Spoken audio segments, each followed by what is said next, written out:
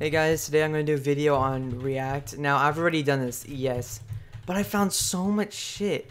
Like, there's so much that people, I, I, this guy told me, he's a coder, he's my friend, and he let me know on a bunch of stuff, so I just want to tell y'all. The first thing is that uh, there's a, the ball skin actually does matter because this is a bigger ball than this. Let me show you.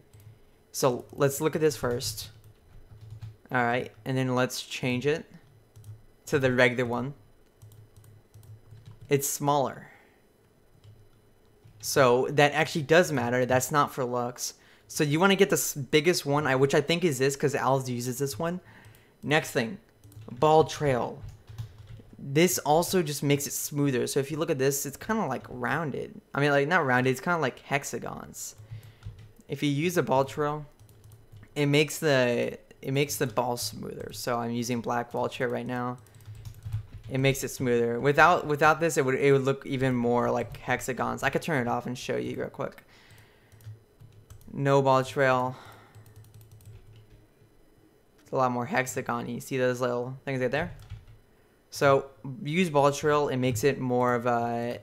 It, it makes it more of like a, a sphere rather than a hexagon or whatever.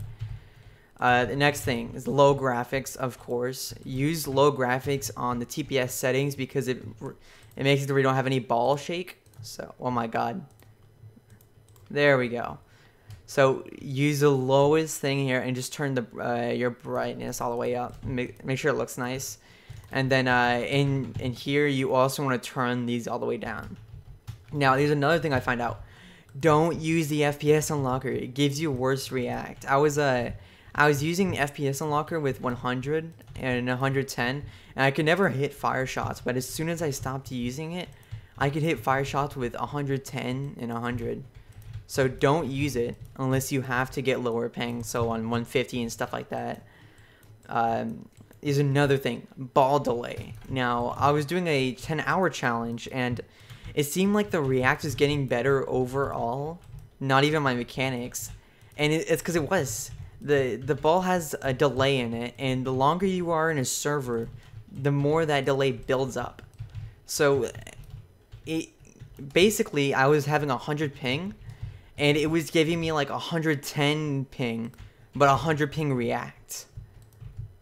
So i was in there for like nine hours so it was really like it was uh it was it was really good so ball delay is like a kind of a small thing, but I, I would like to mention it because it is very very OP. Um, last thing, but certainly not the least thing, React box. Uh, on top of the ball, there's uh well it's not on the top of it, but that's usually where we're gonna be at.